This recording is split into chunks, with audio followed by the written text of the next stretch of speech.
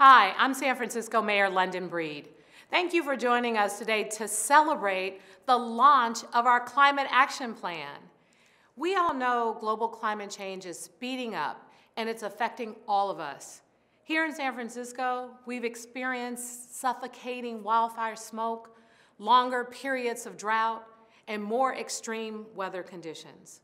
Today, we have an opportunity to address many of our city's climate challenges and create a future where we can all thrive. This summer, I committed our city to bold environmental goals, including reaching net zero emissions by 2040. No other city has achieved this yet, but when you think about it, about how far we've come, I know San Francisco can get there. This year, we are celebrating 25 years of our first in the nation composting program. Last year, we banned gas in new construction.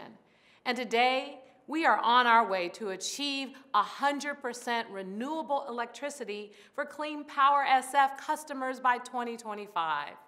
San Francisco can continue to lead the way and show other cities what is possible. But we can't just set these goals and assume things will change. We need to take aggressive action.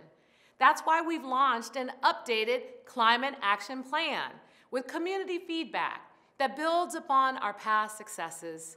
The plan lays out our strategies and actions that we will take to meet our ambitious goals. This means more green public spaces, investments in public transit, and more fossil fuel free housing.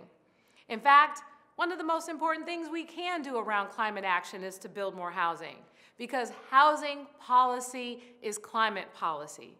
People who live in cities have a significantly lower carbon footprint because they can walk, ride a bike, or take public transportation. And multi-unit buildings are more efficient than single-family homes. Yet over the decades, San Francisco has instead pushed our working class further and further into the suburbs where they have to commute long hours by car. That has to change. Growing up here, I've seen firsthand how people are pushed out and often forgotten. We desperately need more apartments and duplexes that can house more of our residents so we can better serve all communities. And that's why the plan also focuses on equity.